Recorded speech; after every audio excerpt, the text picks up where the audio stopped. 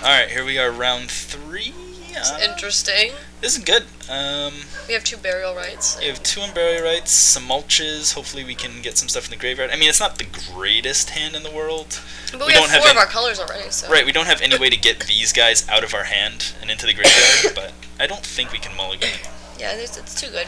If there was no mulch, it'd be a mulligan probably. But Yeah. since there is a mulch. Wow, our, our opponent mulligans again. No luck over there. Hawk, no. Okay, Ancient Grudge. Nice. Good draw. Alright, you can go. Next turn we'll probably play Mountain and then Mulch. Vault Skirge, you got it. Alright. No land. Excellent. That's always a good sign, I guess. hmm Yeah, we haven't seen a Tempered Steel out of him yet. Yet. Yet. he probably has. them. Yeah, he obviously has them. he just My money would be on him having them. Alright, we'll mulch here. I don't think he's ever gotten to enough mana to have one. Nice, we got another Ancient Grudge in the graveyard. This is very good. We could actually just blow up his entire board next turn. That'd be cool. Alright, oh, we can discard. Perfect. Yeah, let's get rid of one of those barrel Um, rights. Well, we have eight cards in hand. Yeah, I guess we get rid of an Unburial Rites. Since casting Wurmcoil Engine is not out of the question, and we can hopefully get a creature in the graveyard Mhm. very quickly. I mean, if we have nothing else to do next turn, we may just Ancient Grudge his board away. Yeah. Especially, I mean, we can get rid of this before he draws a card, too. Yeah, that'd be good. Alright, Flayer of the Hatebound. Um, Mm. so, how are we going to get this stuff in our... The only thing we have is Tracker's Instinct. Hmm. Maybe we just Tracker's Instinct, Ancient Grudge the Spellbomb? That might not be a bad idea. Can we? we have these two lands that come into play untapped. We need green. We need green. We need double green. No, I don't think we can do that because we need green to flashback Ancient Grudge. Yeah. Um, we need to get some cards in our graveyard. Uh, what do you think we do here, Abbey? Um, I'm not sure. I know you need to drop a land.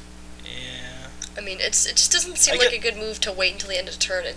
I think we'll Tracker's Instinct. Okay. I just, I mean, we could Ancient Grudge a bunch of stuff, but I don't think it's worth it at this point. We just, I want to get one of our guys down. Yeah. Another flare. All right. so this is the unfortunate part about Tracker's Instinct is that you have to put a creature in your hand. yeah. It's not always what you want to be doing. All right. Well, I'd we'll like just to discard a few too. yeah, we'll play Evolving Wilds here and Sega. I think we'll just get a forest with Really? this. Well, because we have uh, white, blue, black, red, green. And Oh, we true. Need, we need more forests so we can cast Ancient Grudge, Ancient Grudge. Okay. We do have to watch out because if he has a land next turn, then he'll be at the magical three, where he can just drop, um, We can drop Tempered Steel. Tempered Steel, yeah. and suddenly it's a whole different game. Yeah. Glinthawk Idol. Alright, let's get a forest. That'll help more lands come into play untapped as well if we draw them.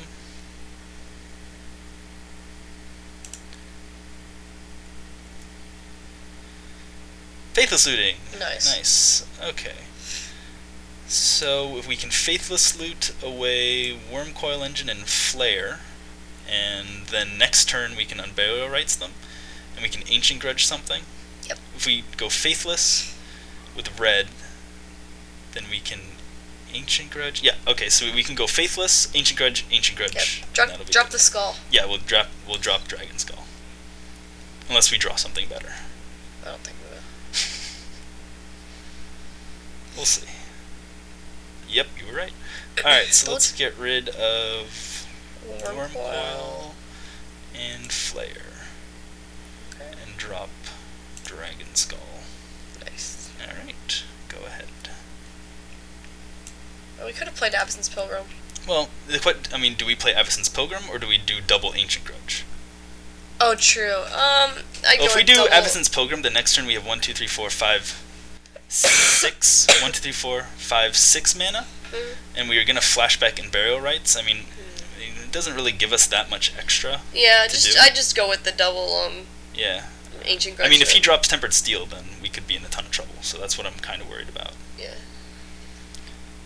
Oh, and he does doesn't have a white, double white. Nice. He does have the township though. That's kind of a pain. You etch champion. Yuck. Alright, well we can handle that.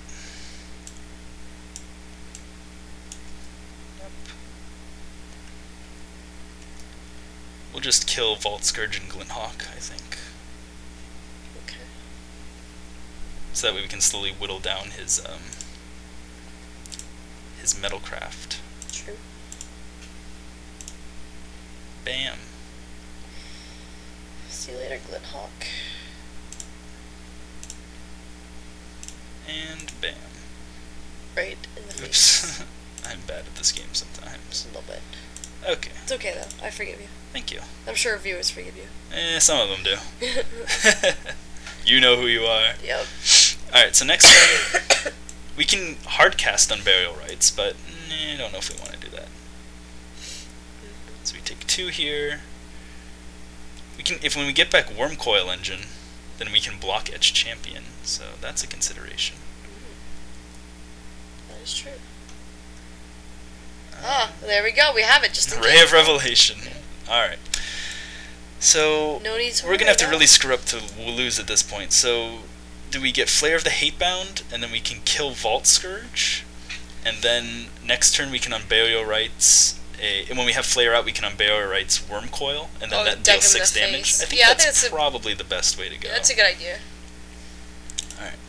So let's on Burial Rites. I can't believe this is a five color deck. Flare, yeah, it's awesome. I can't believe it's actually working a little bit. It works most of the time. Yoink. Alright, so we'll kill Vault Skirge here. Mm-hmm. Just so that we don't die.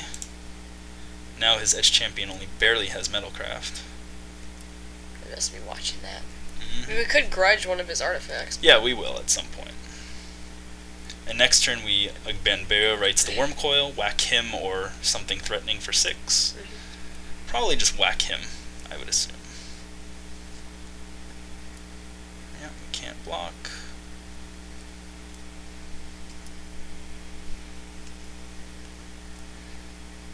So why it's not lifelink anymore. Alright, so if we Unburial Rites the Wurmcoil, whack him for six. If something goes terribly wrong and he dispatches our Wurmcoil engine, we have no blockers, then we take one, two, three, four, five next turn. Yeah, that should be fine anyway. Yeah, we're good. Worst comes to worst if that happens. So we Unburial Rites the worm coil. Yep. Uh, what are we gonna do after this? One, two, three, four. I guess cast pilgrim. Yeah, so we're gonna get some more. And keep uh, Ancient Grudge up? Yep. Okay, so we need to keep green green. okay.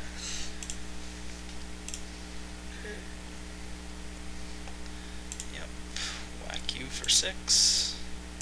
That's pretty good. Yep. And then we'll attack with Flare. So that's 10 damage unless he feels like chump blocking. Yep. Yeah, this deck is hard to play. I mean, there's Is a lot of about dispatching? No, okay. there's a lot of um, I mean, it's very straightforward the plan, but actually carrying it out is fairly difficult. You have to, and since it is five colors, you do have to really be careful that you're tapping your mana the right way, you're playing the right lands. I mean, just playing the wrong land on turn one can be the difference between winning and losing a game. It's very interesting. All right, so we play Sunpetal Grove and Avacyn's Pilgrim. Well, maybe we don't play Avacyn's Pilgrim because one way we lose this game is he just drops Tempered Steel next turn, and it's not like we need the Pilgrim for anything. Wait, so can I- you hover over Wurmcoil for a second? See? Are you satisfied? Yeah, I was just wondering how he gained life whenever he came to the battlefield. Oh. Oh, wait a minute. Really? Yeah. That creature. Oh, that's right. Wow, I never noticed that before. Since Wurmcoil is the one dealing the. I always thought it was Flayer of the Hatebound dealing the damage. Oh. No, we just gained like six life. wow.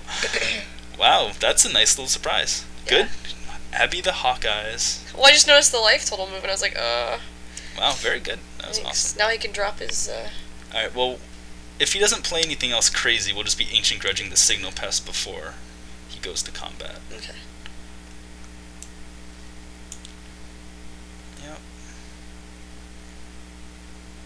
We're little tricks of magic. Uh, now he's activating Ink Moth. We're not especially worried about poison at this moment. It hit us with poison. Well, it's two poisons, so I gotta be careful with that.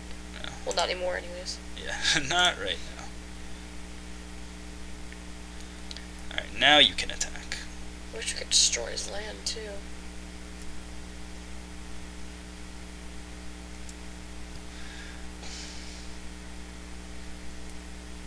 Alright, so now we have to figure out. Okay, so that makes it easier. So we can Faithless Looting and discard Flare, and then we can unburial, unburial it, Mhm. and we can deal four. We'll do eight damage because it'll be four for one trigger, four for the other trigger, straight to him.